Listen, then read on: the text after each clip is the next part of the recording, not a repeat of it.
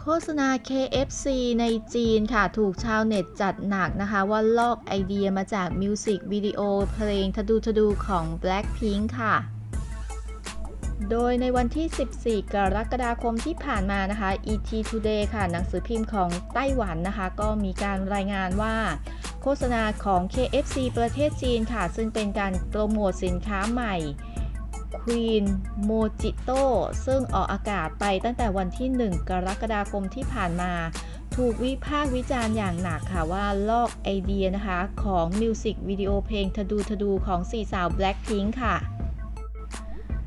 ในโฆษณาตัวดังกล่าวนะคะ มีฉากที่นักแสดงเล่นหมากรุกบนกระดานนะคะ แล้วก็ทำท่าคล้ายกับท่าทางของเจนนี่นะคะ ในฉาก เดียวกันเนี่ยแหละค่ะอย่างที่เห็นนะคะ แล้วก็ยังมีฉากที่คล้ายกับห้องเรียนนะคะที่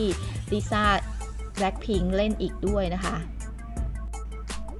ซึ่งทางหนังสือพิมพ์ของไต้หวันค่ะ ก็แสดงความคิดเห็นนะคะว่าไม่มีอะไรที่แตกต่างกันเลย ยกเว้นคนที่หน้าตาเปลี่ยนไปเท่านั้น และจากโฆษณาดังกล่าวค่ะ ชาวเน็ตก็ออกมาวิพากษ์วิจารณ์อย่างหนักนะคะ ระบุว่าไม่ต้องคิดอะไรมากทั้งฉากแล้วก็สไตล์ของโฆษณาชิ้นนี้เนี่ย มันแทบไม่ต่างจากเพลงทะดูทะดูเลยนะคะ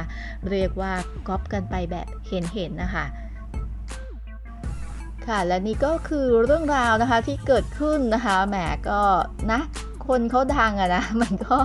อาจจะต้องถูกก๊อปไป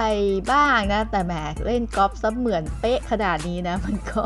ไม่รู้จะพูดยังไงค่ะ คงจะพูดยากนะคะว่าไม่ได้ก๊อปไอเดียนะ มันมันเห็นเห็นกันอยู่นะคะ